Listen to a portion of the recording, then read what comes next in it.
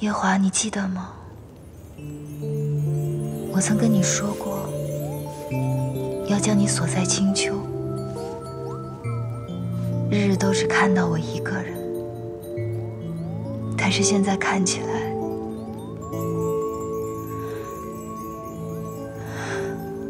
我可能做不到了。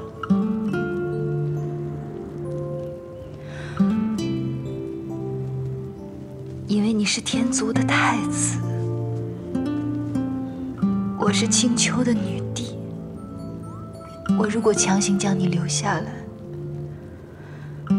会让青丘还有天族都很难看的。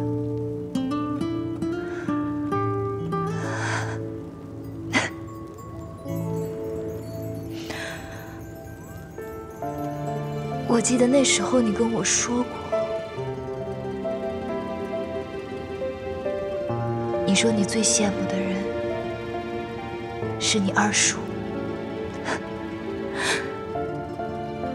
当时我真的不明白。你说他，他一个北海水君，有什么好羡慕的？但现在我知道了。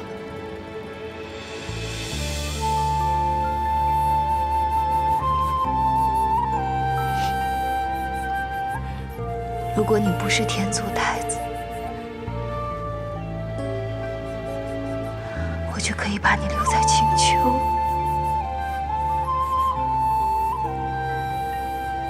这样我们就能永远在一起了。你说我的这个身份，也真的是很尴尬。我做凡人的时候。我配不上你，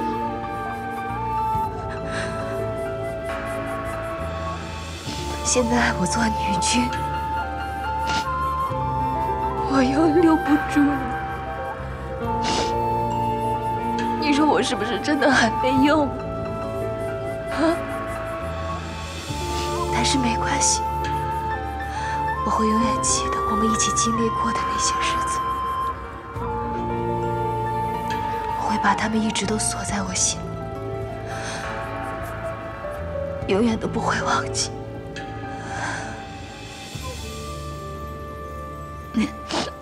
好了，我们不说这些事情了。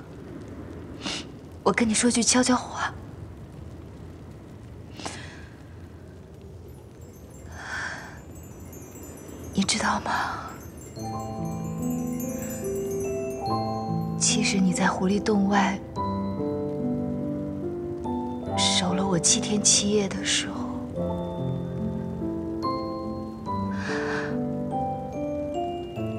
的心已经软了。但你也知道，我这个人，我就是放不下架子来。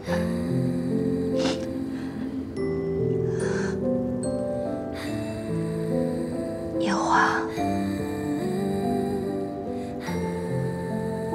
其实我早就原谅你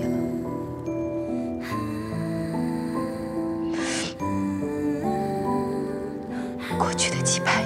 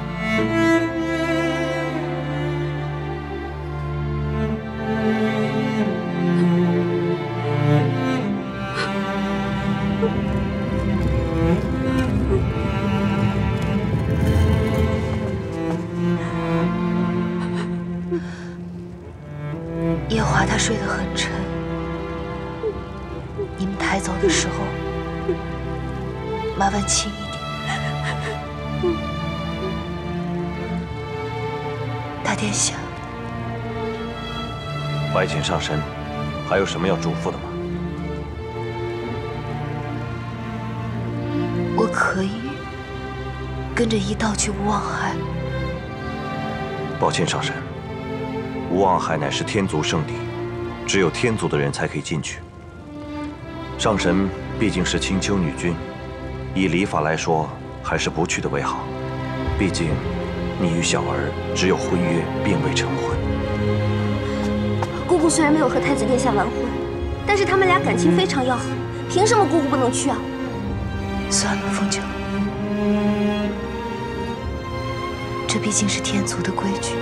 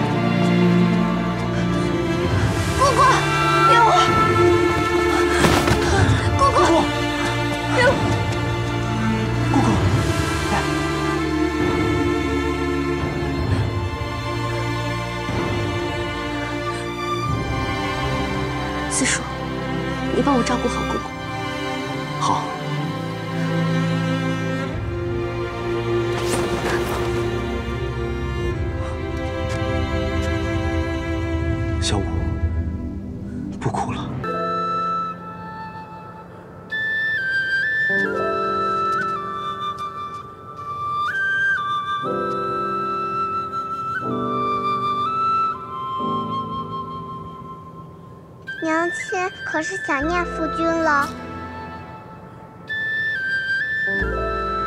娘亲一直在想念你夫君。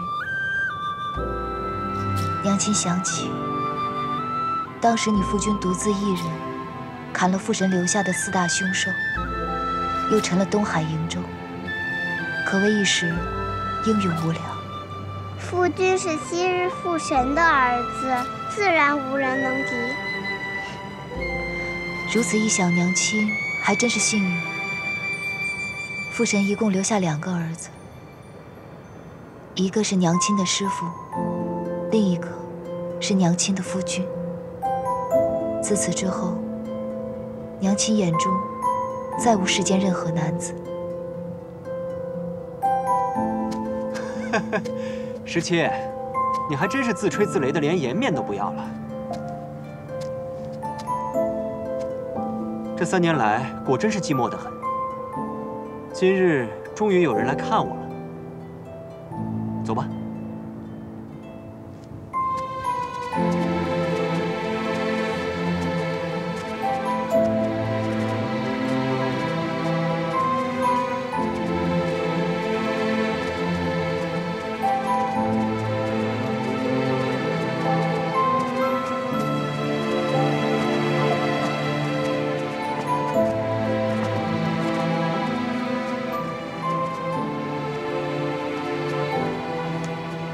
那便是太子殿下的玄金棺了。我知道，当初他爹娘就是抬着这具玄金棺，从青丘离开。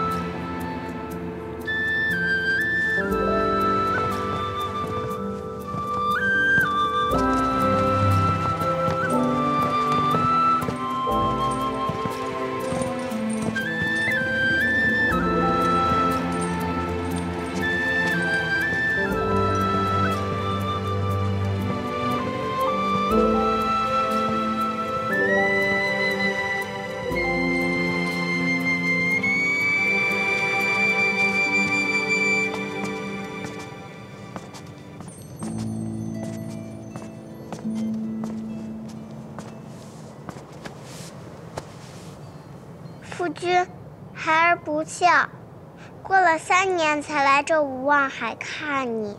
孩儿这三年都被关在洗梧宫，日日读书。阿奶守着孩儿，不让孩儿离开。夫君，孩儿想。你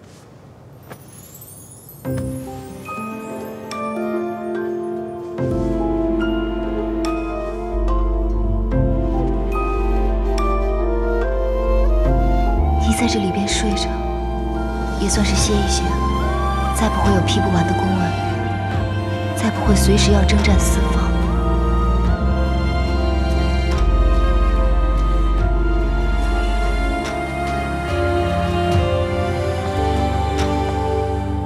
风吹开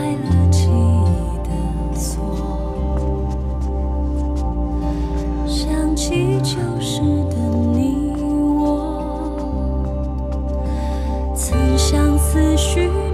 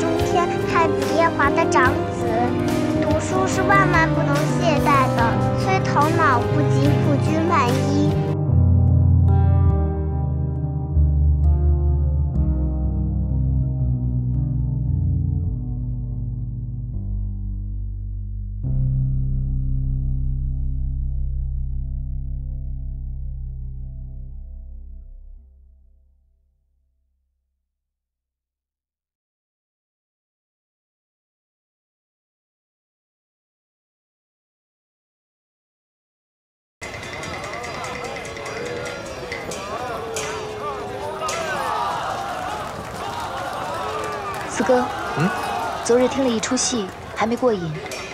你先回桃林吧，我再听半日戏。好，你可别听的分不出今夕何夕了。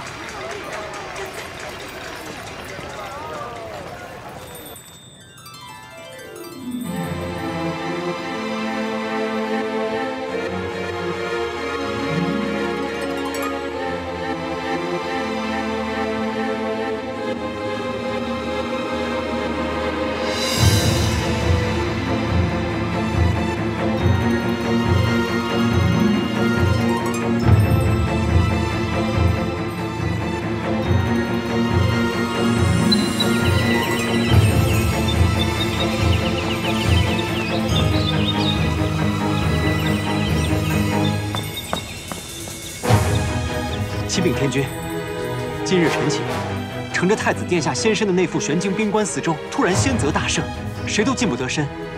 我看事有蹊跷，就赶来禀告一声。夜华的元神都魂飞魄散了，为什么会有这么强大的仙泽护着？或许夜华根本就没有死。夜华，夜华他又回来了。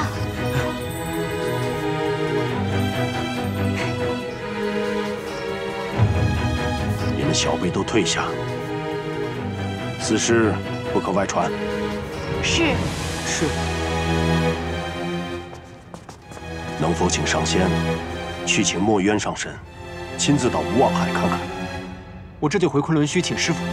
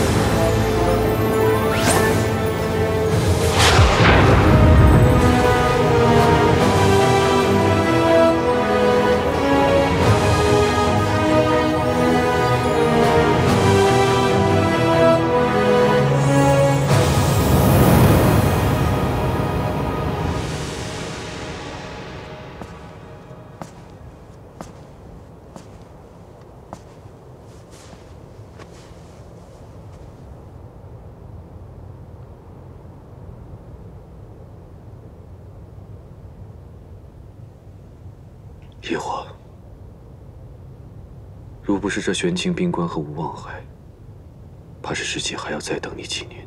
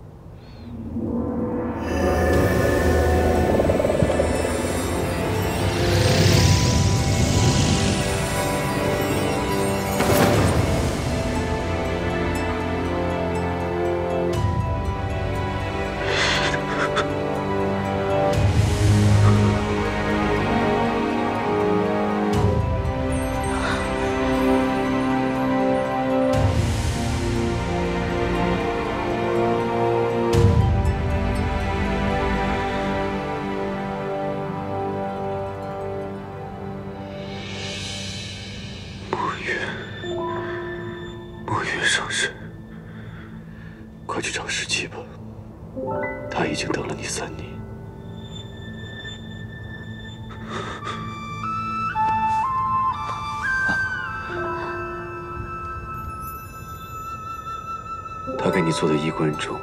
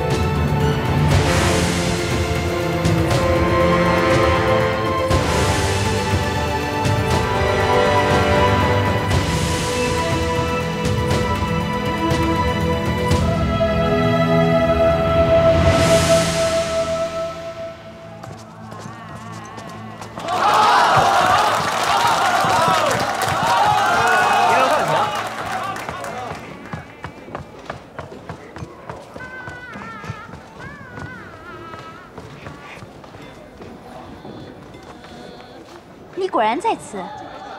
你特意来寻我的？是啊，难得碰上一个戏友。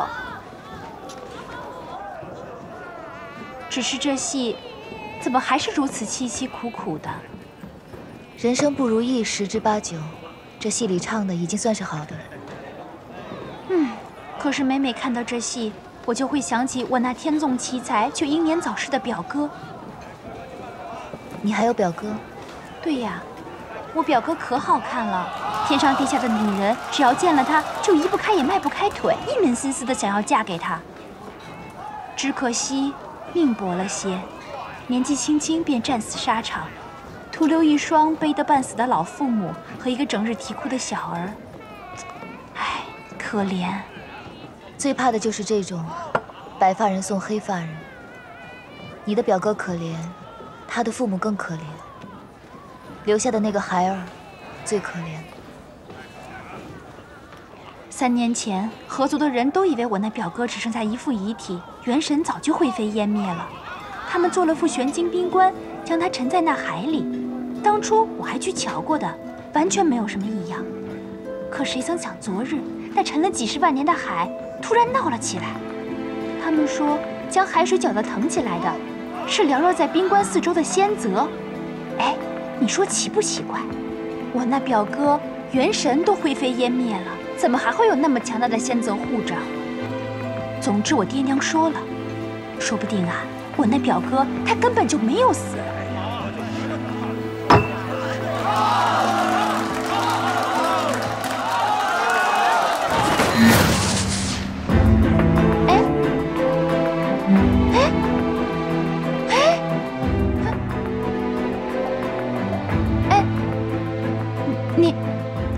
了？你接着说。如果他没死，那可怜的小阿离就不用整日哭哭啼啼了。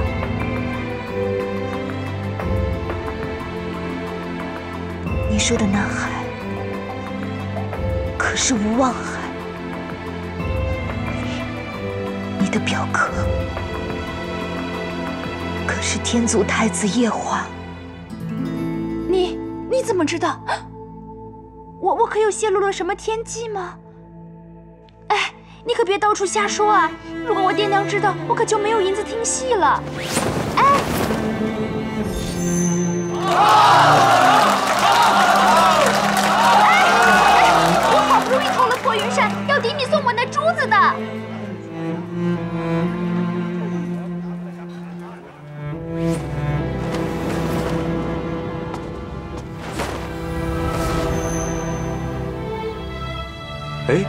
那不是白显上神吗？是啊，我还以为我看错了呢。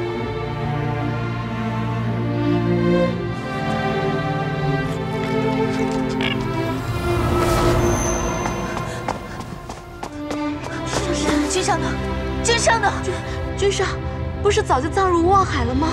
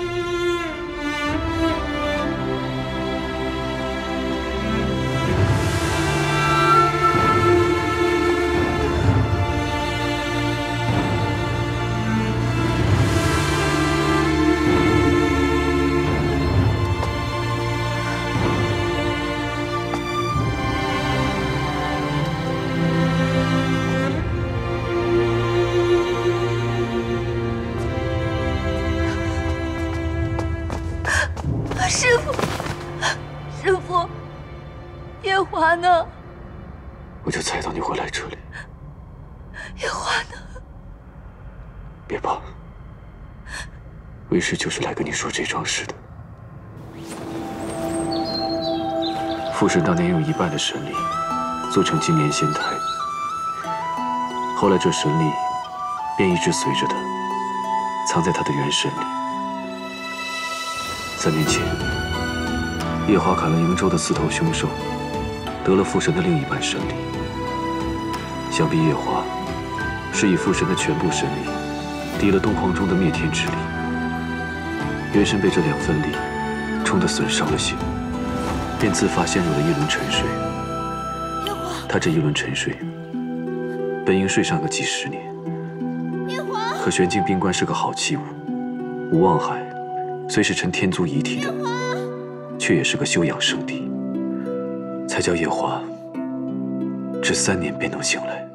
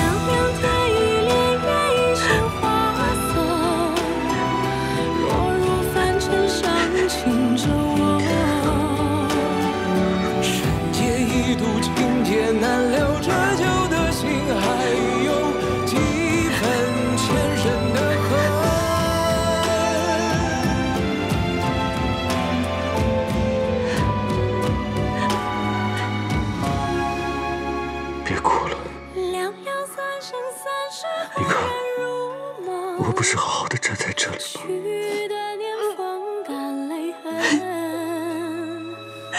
若是回忆不能再相认，就让情分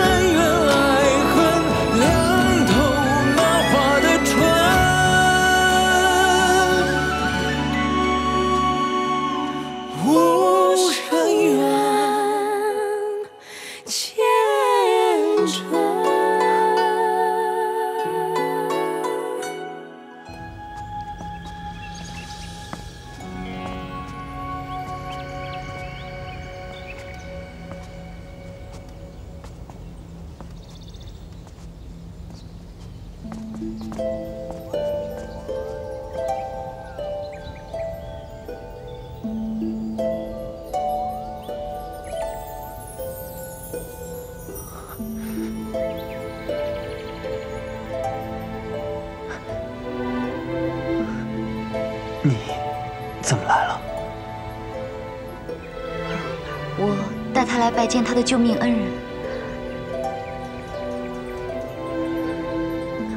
快去，叩谢这位紫兰上仙的救命之恩。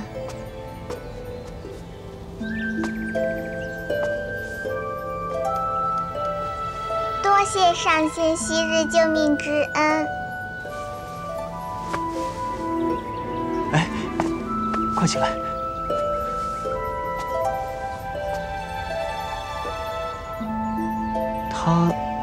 该是个男孩吗？我那时候一直听玄女叫他儿子，我以为不，她是个女孩子，可能因为玄女太想要个儿子，去继承二哥的义军之位，所以才这么叫他的吧。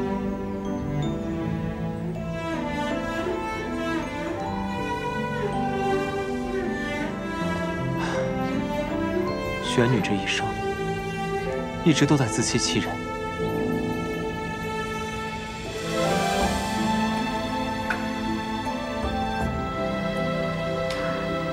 你这几年都在昆仑虚吗？是，一直在，没离开过。我听说你师父回来过，他可曾责怪过你，为我一族炼丹呢？不曾。那你的师兄弟们有因为我的事为难过你吗？从未有过。如此我就放心了。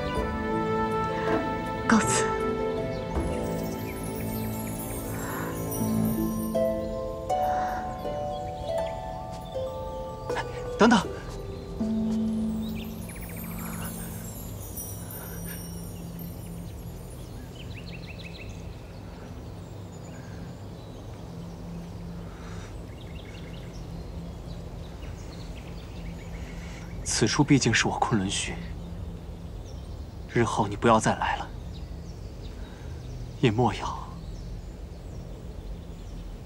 再来寻我。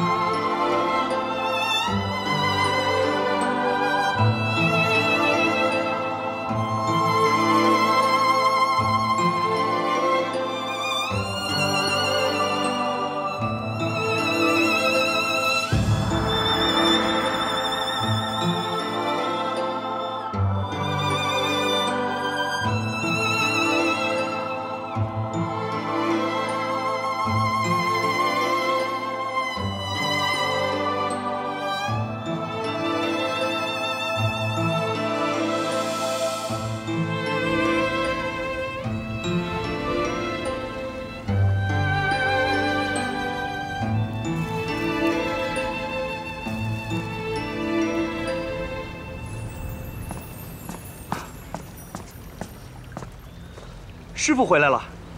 嗯。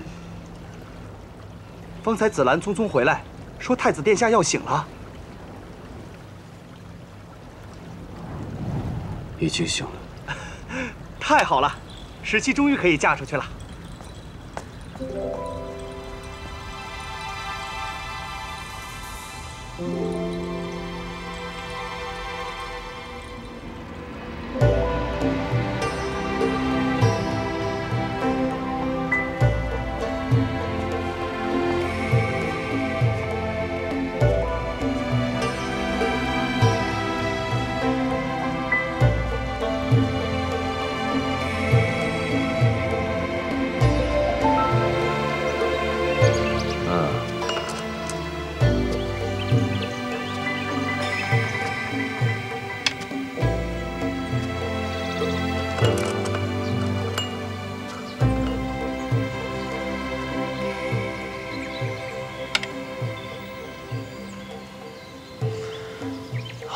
下吧。你爹跟我吩咐过了，你必须跟我下够了七局，才能够让你去找他。我怎么可能赢得过卓颜上神？没关系，我让你就好了。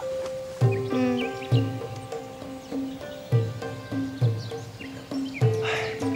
你这个父君啊，是太过重色了。不下了，不下了，不下了。不如这样，我跟你讲讲你娘小时候的故事，或者是你爹和你娘的爱恨情仇，好不好？我爹娘哪里有爱恨情仇，只有浓情蜜意。好，好，好，好，好，好，好。这四海八荒，就属你爹跟你娘感情最好了。那我们就讲你娘小时候的事情。嗯嗯。晨晨，嗯，我们从哪里开始说好呢？那就从他娘随着我浪迹四海、为祸八方的两万岁讲起吧。后讲到团子的亲弟弟降世，你娘小时候啊，特别调皮，天天出去惹事，还经常拿别人的东西，拿完别人的东西，还经常忘记还。你娘她呀，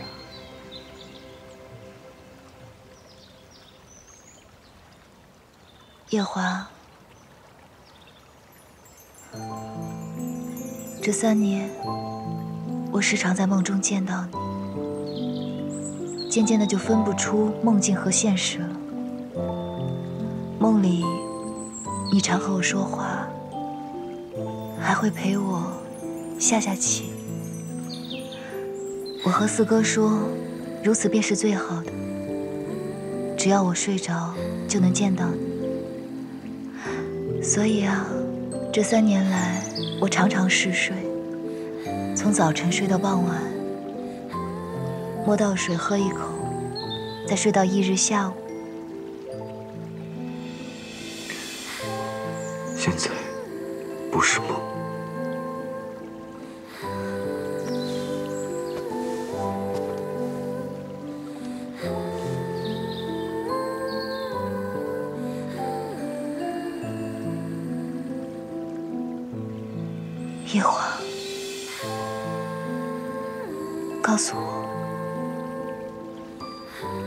是在做梦，对吗？不是。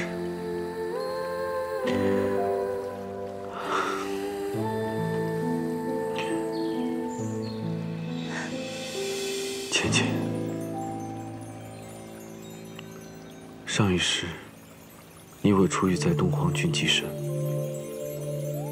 起初你当我是一条小黑蛇，饲养我，还喂我吃生肉。后来我以报恩的名义接近你，你却让我以身相许。之后我们就糊里糊涂的拜了天地，结成了夫妻。那段日子，是我第一次感受到幸福。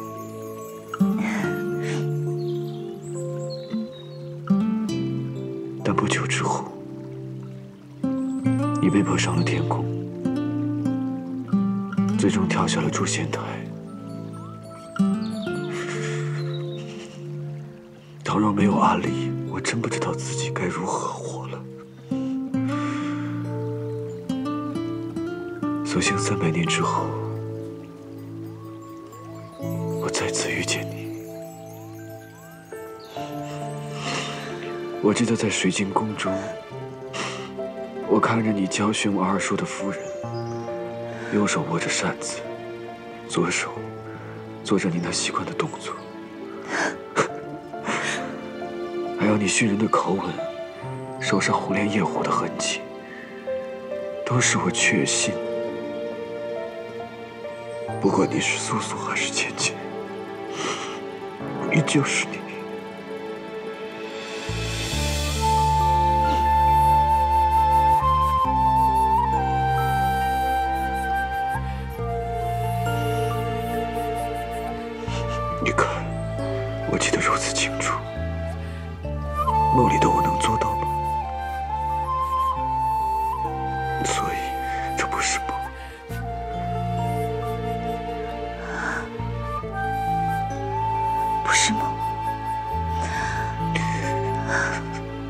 是我们一起经历过的。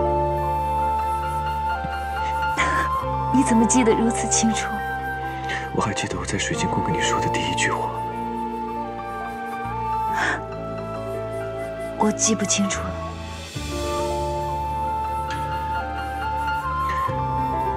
有话不是，